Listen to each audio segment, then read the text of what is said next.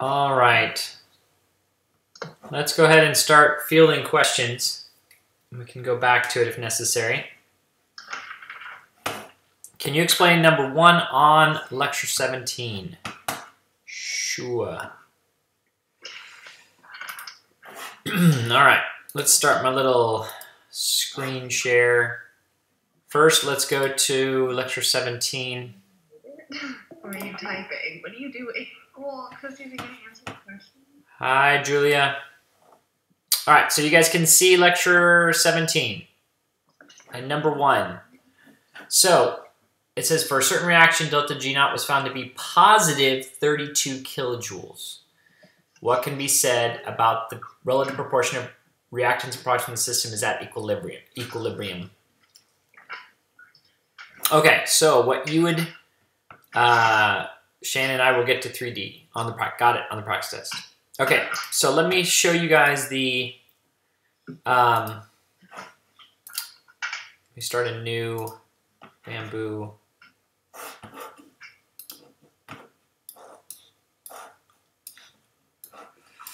All right.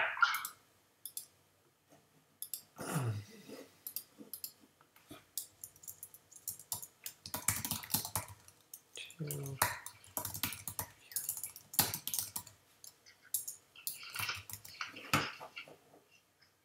All right. So, delta G, if it's negative, then it's spontaneous. If delta G is positive, it's non spontaneous. Okay? So, and if delta G is negative, then products are favored. Which means that remember that um, if we were set up like an equilibrium constant, K is equal to products, right, over reactants basically. Or I, I don't know if that if we need to go that far, but you get the general idea that talking about it's going more towards the right in a reaction if it's product favored. If delta G is positive, then it's reactants favored, meaning it's not going to happen. It's going to want to hang out in its reactants, which means the reaction is going to go to the left more. And so, because our delta G is equal to positive 32 kilojoules, which is actually a pretty big number, you would say that it's um, very reactant favored. is what you would say. So at equilibrium, you have mostly reactants. Now, when it says delta G is greater than plus 20 kilojoules, well, that's fine. It doesn't really matter. Just know that if it's positive, it's reactant favored. If it's negative, it is product favored. Negative means it's spontaneous. It wants to the it wants the reaction to happen. It wants to produce whatever products there are and just to make sure where this was uh, lecture 17 number one okay so um, cj does that make sense okay good. All right so now we'll go to 3d on the practice test. Um,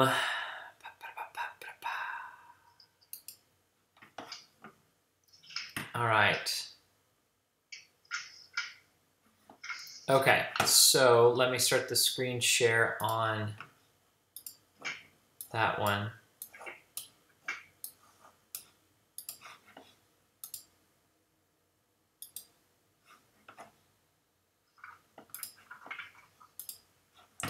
All right, and um, it's probably not big enough. Is that, can you guys see that okay? Um, Sort of? can you zoom in a little bit more? How about that? Yeah, that's perfect. Okay. So 3D says the absolute temperature at which the forward reaction becomes non-spontaneous can be predicted. Write the equation that is used to make the prediction. Why does this equation predict only an approximate value for the temperature? And it says that delta G is equal to zero at this point. The equation is T equals delta H naught over delta S naught. This assumes that del delta H and or S do not change with temperature, not a perfect assumption leading to errors in the calculation. So, um, so what they're saying is, and again, I'm going to go back to my bamboo paper.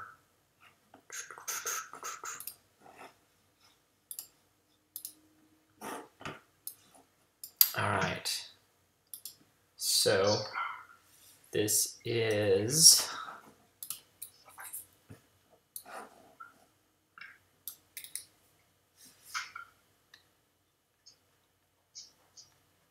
practice test 3D. Okay, so what they're saying is, is we did a whole worksheet on crossover temperatures where delta G is equal to delta H minus T delta S. And we want to know this temperature right here, you know, what temperature is it is delta G going to go from so at what T does delta G change? Oops. So it goes from a negative to a positive or a positive to a negative. And this one says it's, you know, before reaction becomes non-spontaneous. So um, it's going from a negative to a positive. So what, what, what value does that change? Well, then what you have to do is you need to take that equation and um, if it goes from negative to positive, it has to go through zero. So 0 is equal to delta H minus T delta S. And if we're trying to find the T, then we just have to isolate it, which easy enough to do. T is equal to delta H divided by delta S. So there's that equation. Now, the reason that this is an approximate value is because of the fact that, let's say you run this over a wide range of temperatures. Um, and we already know that if you increase the temperature, that delta S also increases, right? We said if we increase temperature, entropy increases because there's more possible states for whatever it is you're dealing with. And delta H, well, we don't, that, you know, if you change temperature, um, temperature change, you are changing the products, you're changing the reactant, you're changing the, the reaction itself. Um, and so delta H is going to change. It's going to be affected. If you, you know, you, you increase the temperature on an exothermic reaction, it's going to shift to the left, which means you're going to have less delta H, right? So um, that's why that reaction is, or that's why in that situation is considered to be more of an approximate value instead of an exact value. Does that make sense, Shannon? Yeah. Okay. Well, good. Uh, all right. Another question.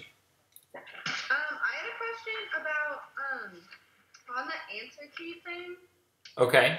It said something like if G is greater than zero, it's spontaneous. But then in the notes, it said that if G is less than zero, it's spontaneous. G, G needs to be less than zero to be spontaneous. I would be curious to know where you saw that because it's very possible that there's a typo in there.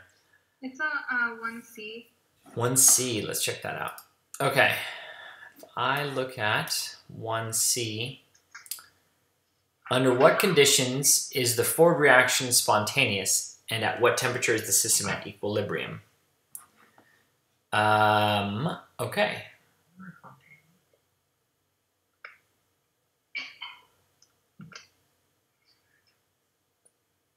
Delta G naught is greater than zero in order for the forward reaction to be spontaneous.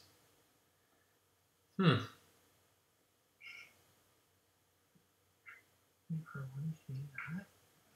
That doesn't seem right. That should not be, it should be the other way. So if, okay, so if I did, because you're still looking at my bamboo, aren't you? Let's switch to the practice test. And um, so 1C, I've already changed it. So if you're looking at this, mine already looks different. So yes, it did it did say it incorrectly. Delta G naught is less than zero in order for the forward reaction to be spontaneous, because that's what we're looking at. Um, and I can't see why this would be. I don't know why they would be referring to it like that. No, I can't. I can't think of a way right now in which that would be taken any other way than Isn't it just saying delta? incorrectly. So, was somebody saying something? I'm sorry. Nick said something. No, never mind. Never mind. Okay. So the delta G has to be less than zero in order for the forward reaction to be spontaneous. So I think that was a typo. Mm-hmm. Doesn't that just mean delta G is negative? So isn't it when delta G is negative, doesn't that mean like It's spontaneous. Right. If delta G is negative, then the forward reaction is spontaneous. Doesn't know what it's saying. No, before on the answer key, like I Oh, have- before it looked like this. Oh, okay. And then I changed it before I showed you guys my key. Sorry about that.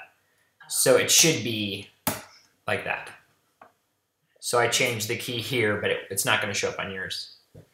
Sorry about that. Um, I'm kind of confused on 3C on the practice test and like. Okay, let me. You know what? Before I go back to 3C, um, I see that uh, CJ said something about okay on lecture 17 when I solve for the K equilibrium constant. Um, I don't always get the exact, and they're not too close to the real answer, but they're still close. I know they're still close. okay, so you've got an answer that's kind of close. Um, I guess it depends your definition of close. Are you saying it's close by a power of 10 or 20? Or are you saying it's close because one was 8.13 and you got 8.24? It's like, here, I'll pull up lecture 17 and we can look at that.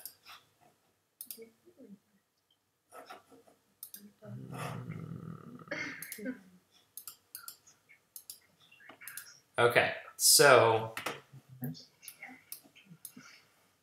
so which number you've got 2.47 times 10 to the 80th. Which which number was that? E. 6e. Oh, Uh, 6e. The answer was 5.72 times 10 to the 7 79th. Um you are probably fine. I don't know how you're getting a, almost a power of 10 off though.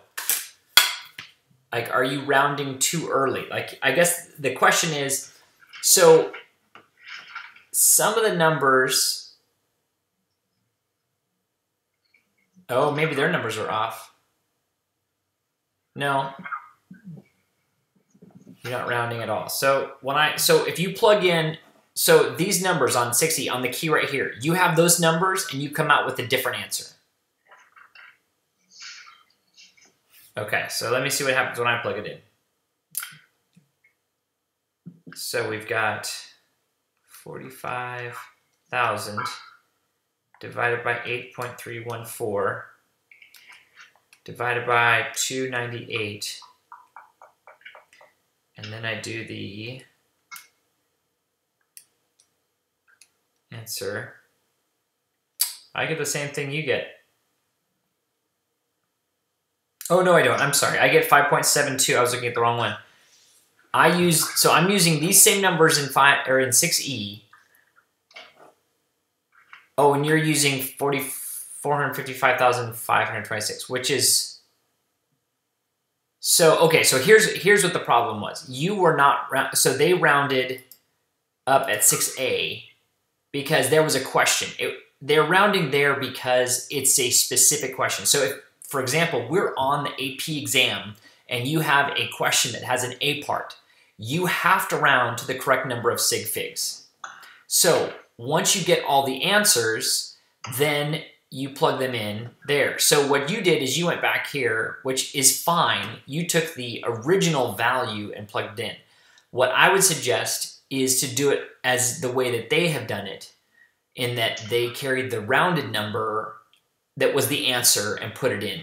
So honestly, if you showed your work, if you showed your work and you had a, different number, but all the values were the correct values, then I am I am nearly I'm 99% positive that they would give you the point for that. I mean, the, the readers that I've talked to, it turns out they're quite a bit more lenient than I realized. So if you're showing all your work, and yes, you're off by a power 10, but you showed the work and they can see that you were there and you did that right, then you're fine. Does that make sense? So so in, in the in the case of I would do the same thing on my test. So I will be lenient on that. Showing your work though, showing the work is major part of that. Okay. So now the we had a question about 3C on the practice exam. Yeah, but Nick had a question real fast. I'm also interested in. Okay. So on some of them, they ask you to like calculate delta G, and they give you a table. And usually, like you can do like the products minus the reactants. Right. But then, like the key shows, you have to do the delta G equals H minus T delta S. Okay. Is there like a one you prefer? Because like they both give you two different answers. Um, I think that uh, there is not necessarily one I prefer. I think that it depends on on what they give you. If they give you a table, then I think doing if they give you a table, then doing the products minus reactants is what the expectation is. If they don't give you a table of those delta G values, then you do the delta H minus T delta S. But we're back to again showing your work. And honestly, there's those variations in the problems. There's variations in in. Um, remember how we did like if you found delta H by bond energies and you found delta H by the the products minus the reactants, you got two different values because the bond energies were the average bond energies. It's the same kind of thing here that you, you're doing averages or whatever the numbers are. They're not going to work out exactly right. They they just don't. So as long as you're showing your work correctly, you can still get credit for it. And a couple years ago, I had one of those problems, and I don't think it was this test, but I had one of those problems, and and there were two ways to solve for it, and and both ways were correct, and the answers came out a little bit different, but that was fine. So I would just try to try to try to see what you're given to anticipate how they want you to solve it. But again, making sure you share your work, that's the way to get the most points. Okay, now can we do three? Yes, absolutely. So, practice test, screen share 3C. Let's see, okay. Um, so we're at the 298 Kelvin, not, um, and it's negative 145 kilojoules, so it's exothermic. 3C says, what change, if any, would occur in the value of the equilibrium constant KQ for the situation described in B? Okay, go to B. At 298, the forward reaction is spontaneous. What change, if any? It, oh, as the temperature is increased. So we know that KEQ is going to change because there's a change in temperature. But it, is KEQ going to increase or decrease? So at 298, toward the right is spontaneous. Um, okay, and we just said it's exothermic, which means it heats on the right hand side. So if you increase the temperature, that would push on the product side, which to get back to equilibrium, it will shift to the left. Okay? So if it shifts back to the left, then you've got more reactants. You're getting more reactants. It means that I don't, it doesn't mean that there's more reactants than products. It just means that there's more reactants than there was before. So that means that if if reactants are in the denominator and you increase the size of the denominator, that's going to decrease the size of your overall number, which Okay. which means that your equilibrium constant will decrease in value. Okay, thank you. And then also in B, uh, I'm just like making sure my like reasoning is right. It says like the um, what happens to G when the temperature is increased? Is it because the T delta S becomes like larger than delta H, so then it makes delta G positive? Um, yes, that is definitely part of it. I mean, there's two. I think you could you could you could um, argue it or or discuss it from two different angles. One is you're right. The The temperature gets larger, and the negative T delta S becomes um, so much larger than the delta H, then the delta G becomes positive. Because because because right because the delta H is is uh, um well it's anyways it, it just becomes larger. So so it it uh, you have minus a negative. Right? You have a let's see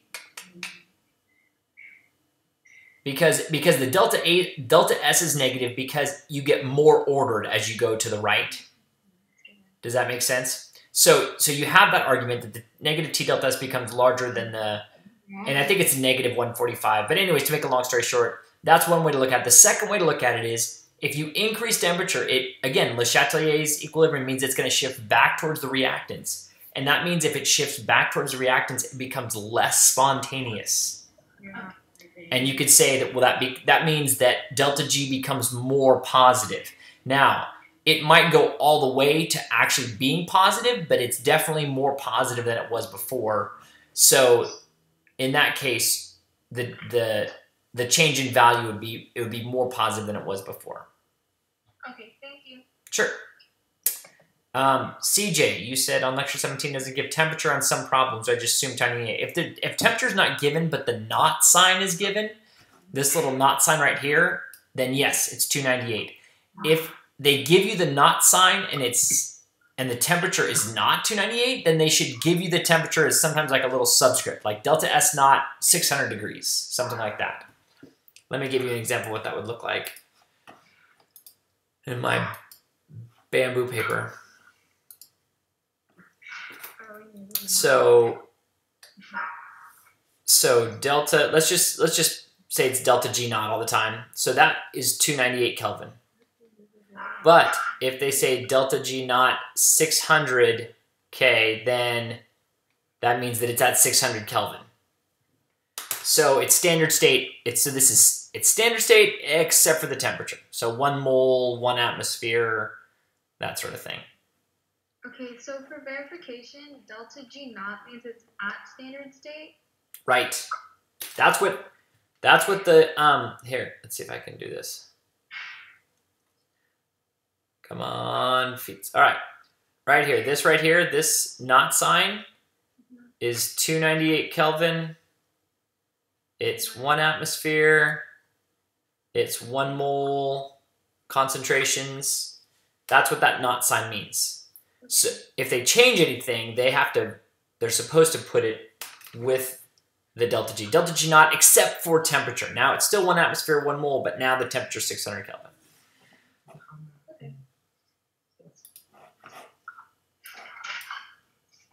All right. Other questions? Oh, I also had a question on four on the multiple choice. I don't know if it was me having like a weird thing, but I have to. Okay, four on the multiple choice. Which of the following must be true for a reaction? Oh, in which the reverse reaction is spontaneous all temperatures. This one's a hard one. I'll give you that one. Let's uh let's do this one on bamboo too. Okay. So um the reverse is spontaneous at all temps, right? Which means that going in the reverse direction, delta G is equal to delta H minus T delta S. And so to get this to be negative, um, this would be negative, and then delta S would have to be positive, right? Yeah. Okay, that's going that direction, which means going in the opposite direction, the opposite things would be happening. Okay. So now delta G is positive, delta H is positive, and delta S is negative. Okay, cool. So then, of those answers, um, let's see, delta G being positive. It's oh, so that doesn't show delta H being positive. That means it's either A or B, and delta S being negative means it's B. So is the correct answer B on that one? Yes. Okay. Thank you. Sure. All right. Other questions?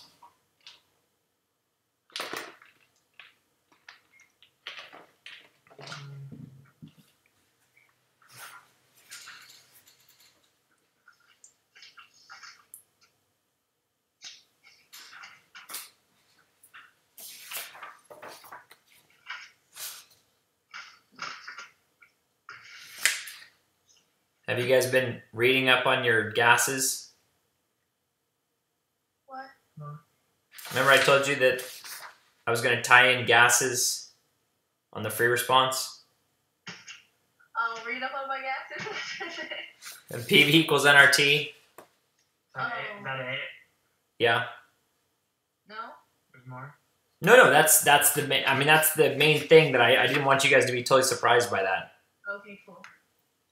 So, just gonna be finding moles.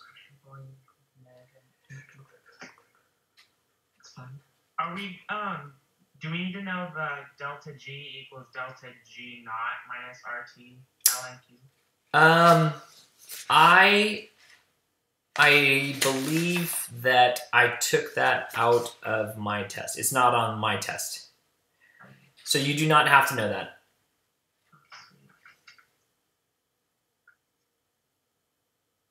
You do have to know that delta G naught equals negative RT natural log of K. Is the multiple choice on the real test gonna be like fairly similar similar to the multiple choice on the practice test? Um, there are there are a number of questions that are very similar. There are some questions that are different, but for the most part, they're pretty similar. Um,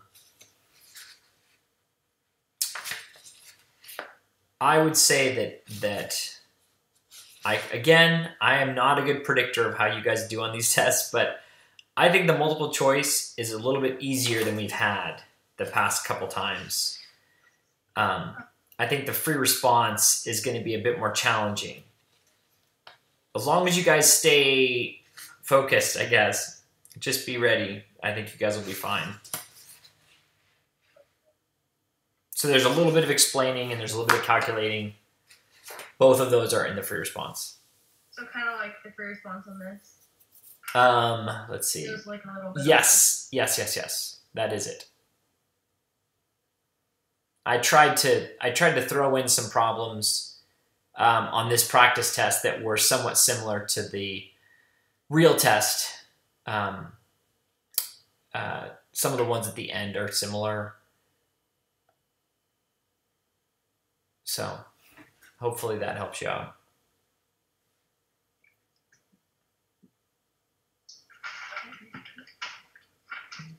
This was kind of a short unit and not as complex as some of our other ones. So I'm hoping that that'll be a good thing for you guys.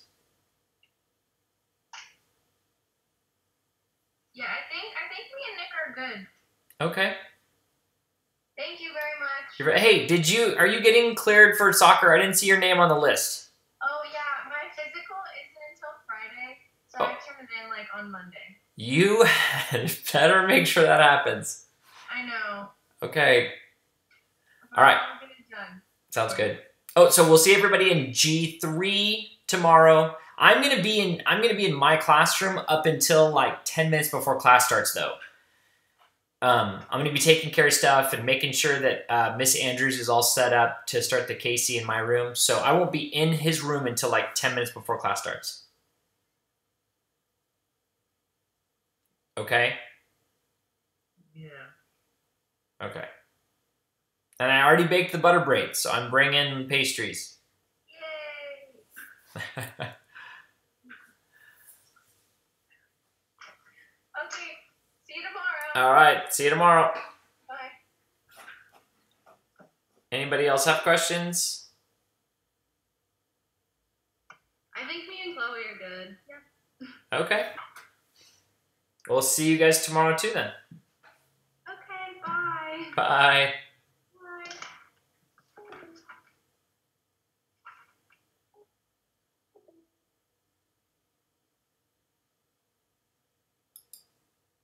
Anyone else?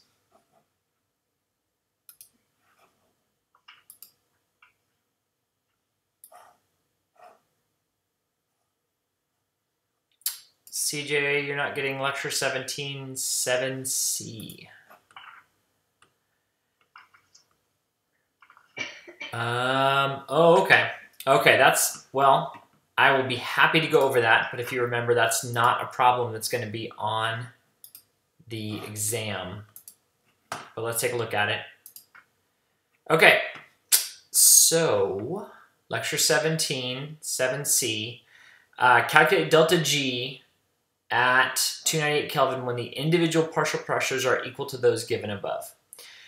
Um, so this delta G is saying that it's not standard pressure, it is standard temperature, um, but we want to know what's the new delta G going to be? How is delta G not going to change? So delta G naught you calculated up, he up here in um, 7a, and that was 26 kilojoules per mole. So you can plug that in 26,000 joules plus RT natural log of Q. And that's that 8.314 and 298 because R is the energy. We Even though it says gases, you only really do gases when you're just calculating pressures of gases, or that's when you use the 0.08 um, to 1. Uh, but otherwise, use the 8.314 joules per mole Kelvin. Temperature 298 uh, Kelvin, and then the natural log of Q, the Q is calculated from the partial pressures in B. So once you have the Q, you just plug that in, and it's really just a matter of you're taking all the answers from all uh, the other problems to get the answer. So that's how you find delta G. Uh, wait, do I even need to do it then? No, you don't need to do it. But it's good to know. I, I I didn't find it on the on the. You can leave it blank. Yes, um, I didn't see it on. I didn't see that equation on the reaction sheet. And the general consensus among AP teachers is that we believe that if it's not on the reference sheet, then they are not going to test on it. So um, that's kind of what we're running with at the moment. So yeah, you can leave it blank.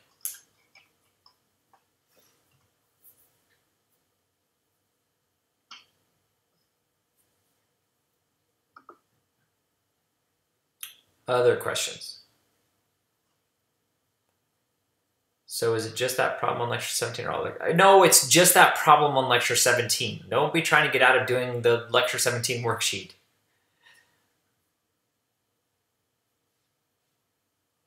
See, like the one below it, number 8, delta G naught equals negative RT natural log of Kp. That's absolutely a part of the test.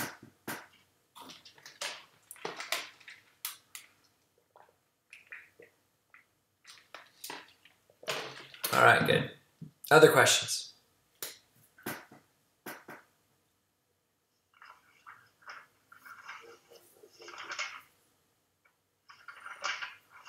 Um, can you explain number eight on the multiple choice on the practice test? Uh, absolutely. Let's. Okay. So let's switch over to that screenshot.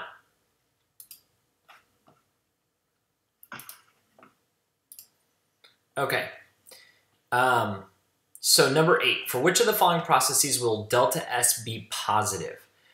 Uh, on this one, if it's positive, that means that entropy is increasing. It means it's becoming, you have more states available, more disorder, I guess, to a certain extent.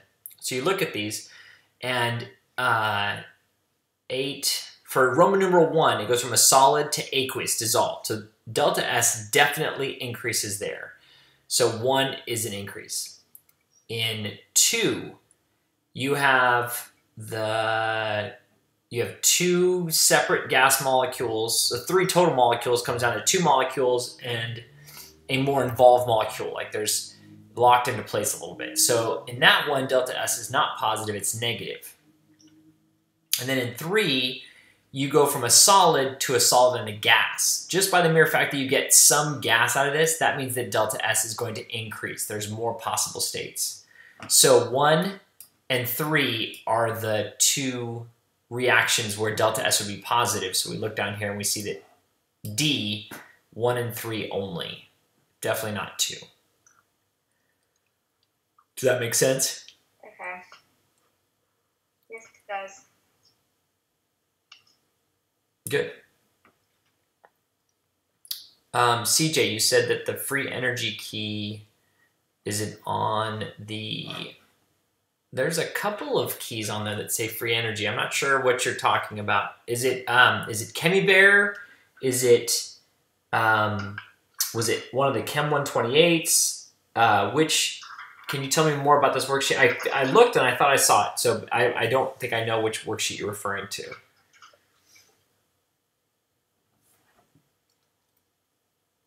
It's the multiple choice one.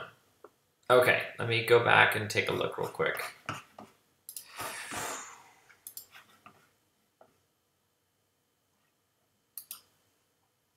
Um, yes, they're there. Well, they're on mine. Um, let me, you know what I'm going to do? I'll bet you I can screen share this. Uh, I think I can screen share this. Oh, I need to open it. Okay.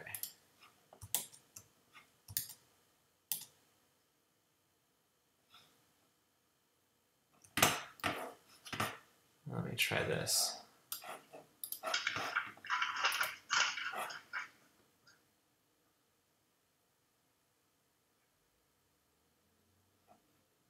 Um. Oh, I can do this. Can you see yourself, CJ? All right, CJD, let's see. What if I change it? Nope, that's not working. All right, I'll take you off, CJ. Um, why can, oh, there it is. Okay. All right, CJ. See this one right here that says uh, energy or entropy free energy worksheet one, solutions two, and the thing for solutions one. If I click on that, it looks like that. Isn't that the key? Is that isn't that the one you wanted? Yeah. Oh yes. Okay. So it's there. That's what it. So it looks different. It's not the. Um, it. Uh, there's the worksheet, but it's like they're little gifts. I guess they're yeah. Yeah, that's the one. All right. Okay.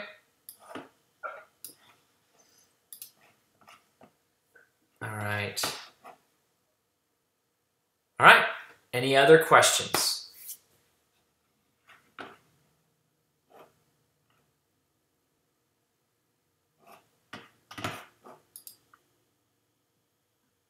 I think I'm good.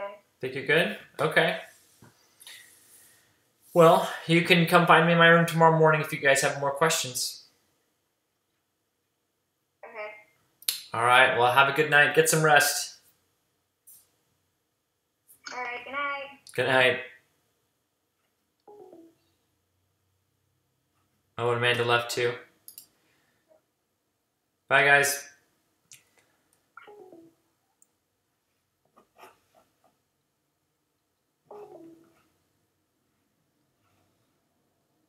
All right. Bye, Marina.